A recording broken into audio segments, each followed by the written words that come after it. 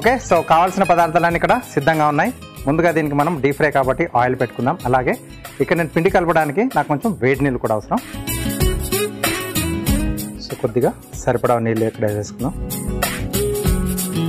So దీంట్లో ముందుగా ఏంటంటే మనం రవ్వ ఉప్మా రవ్వ.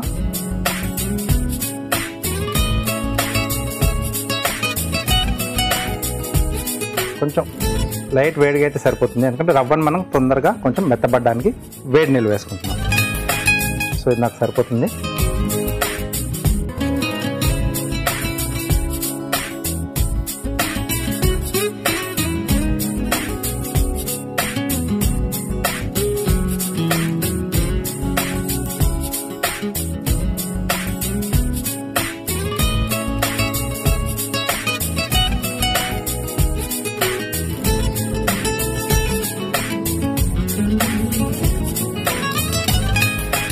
నెక్స్ట్ దీంట్లోనే కొద్దిగా జీలకర్ర.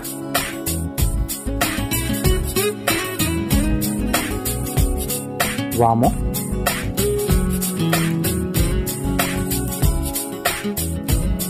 Chilli flakes.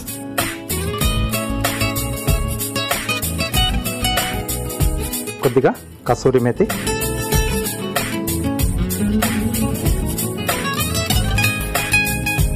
కొంచెం ఇంగువ.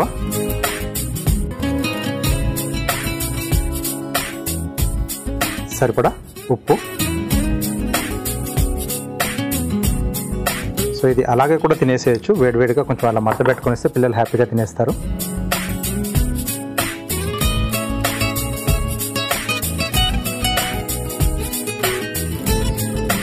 సో ఒకసారి బాగా కలిపేసి నెక్స్ట్ తరిగిన కొత్తిమీర.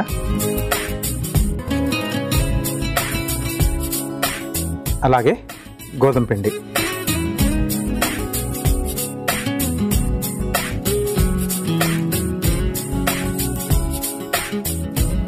ఓకే సో ఆలు అనుకున్నాం కదా ఉడికించిన బంగాళాదుంపని ఇలా మెదిపి పెట్టేసుకోవాలి లేదా తురుముకున్న సరిపోతుంది.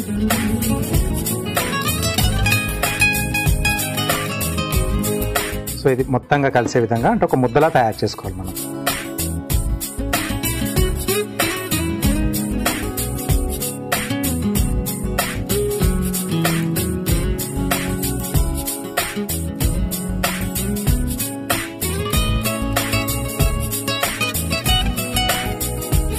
ఓకే కొంచెం బాగా కలిపేసుకుంటే ఇంతలా బాగా వస్తుంది మనకు.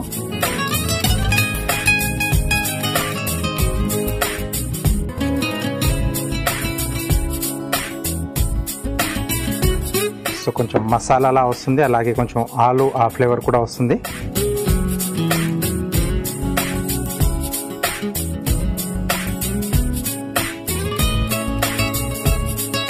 కొంచెం ఇలా బాగా కలుపుకుంటే మనకు కొంచెం సాఫ్ట్ సాఫ్ట్గా వస్తుంది అనమాట పిండి అనేది. కొద్దిగా గోధుమ పిండి వేస్తున్నాను.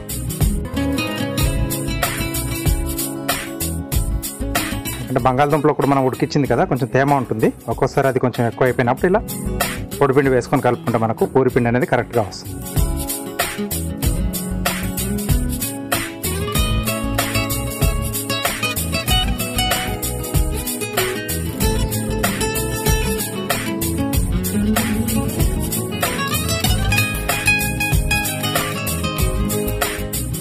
ఓకే సో పిండి రెడీ అయిపోయింది. ఇక్కడ ఆయిల్ కూడా.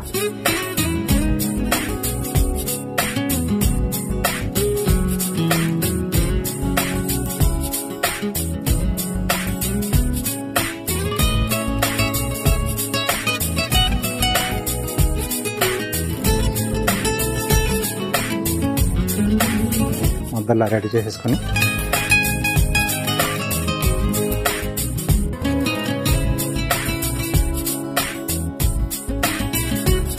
దీనికి కొంచెం ఆయిల్ అప్లై చేసుకోవాలి వీటికి.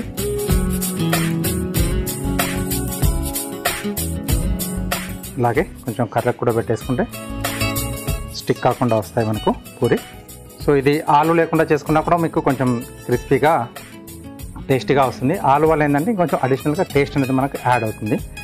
దీంట్లోనే కావాలనుకుంటే కొంచెం ఏదైనా ఆకుకూరల్ని మనం సన్నగా తరిగి కానీ లేకపోతే కొంచెం పేస్ట్ రూపంలో వేసుకున్న కొంచెం ఆ ఆకుకూర ఫ్లేవర్ అంటే కొత్తిమీర కానీ పుదీనా కరివేపాకు తోటకూర ఇలాంటి ఆకుకూరలు కూడా వేసుకుంటే మీకు ఆ ఫ్లేవర్లలో కూడా వస్తుంది అనమాట లేకపోతే కొంచెం రెడ్డిష్ కలర్లో రావాలి. అంటే డిఫరెంట్ డిఫరెంట్గా చేసుకోవడానికి చెప్తున్నాను. టమాటా మనం ప్యూరిలా చేసేసి కొంచెం వడగట్టేసేయాలి. అంటే ఆ తరకలు ఆ స్కిన్ రాకుండా కొంచెం ఫైన్గా చేసేసుకుంటే అది కొంచెం రెడ్డిష్ కలర్లో ఇంకొంచెం డిఫరెంట్గా వస్తుంది అనమాట సో ఇన్ని రకాలుగా మీరు కావాల్సి మీరు తయారు చేసుకోవచ్చు.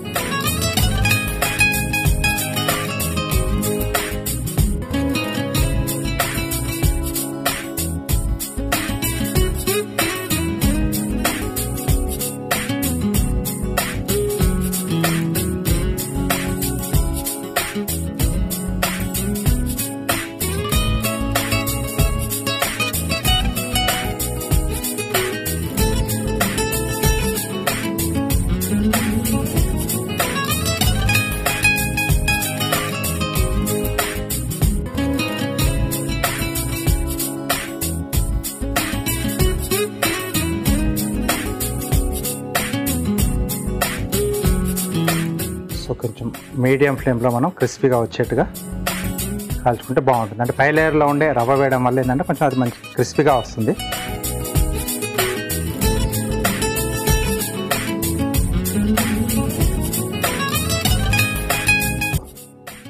పూరీలు మనకు రెడీ అయిపోయి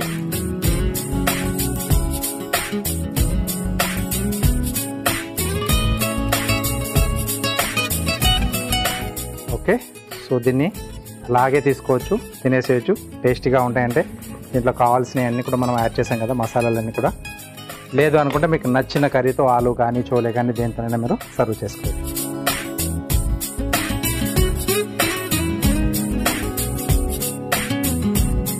ఓకే సో ఇలాంటి అన్ని పదార్థాలు మీరు వేస్ట్ చేసుకుంటే సూపర్ టేస్ట్ వస్తుంది. చాలా బాగుంటుంది. ఓకే?